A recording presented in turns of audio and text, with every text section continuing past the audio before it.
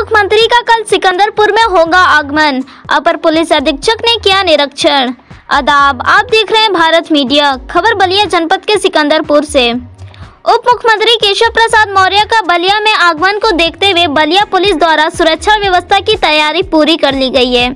इसकी जानकारी सुरक्षा व्यवस्था का जायजा लेने के बाद अपर पुलिस अधीक्षक विजय त्रिपाठी ने कही।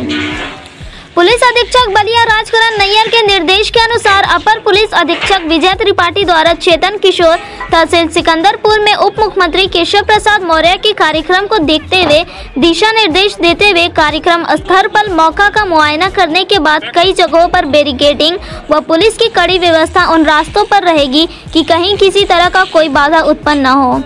उन्होंने बताया कि भारी मात्रा में फोर्स की तैनाती के साथ ही महिला फोर्स की भी तैनाती रहेगी। अपर पुलिस अधीक्षक हेलीपैड को लेकर काफ़ी संतुष्ट दिखे।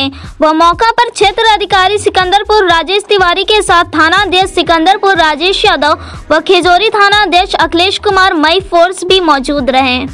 मौका मुआयना के बाद उप जिलाधिकारी व एडिशनल एसपी के साथ करीबन आधे घंटे तक गहन वार्ता चली, जिसमें सुरक्षा व्यवस्था को लेकर वार्ता हुई। ज्ञात हो कि कल सोमवार, यानी 3 जनवरी को उप मुख्यमंत्री केशव प्रसाद मौर्य का आगमन होना है। भारत मीडिया के लिए बलिया से जीके खान की रिपोर्ट। खबरों से जुड़ने के लिए भारत मीडिया को सब्सक्राइब करें। वीडियो को लाइक, शेयर करते रहें। नोटिफिकेशन के लिए बेल आइकॉन को दबा लें। ऐसी ताज़ा खबरों के लिए बने रहें भारत मीडिया के साथ।